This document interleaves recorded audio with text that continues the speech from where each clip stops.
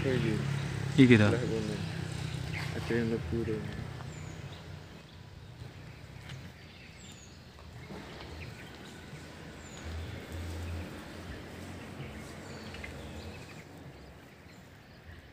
Ini ini sih tambah. Ini tanah apa? Nah.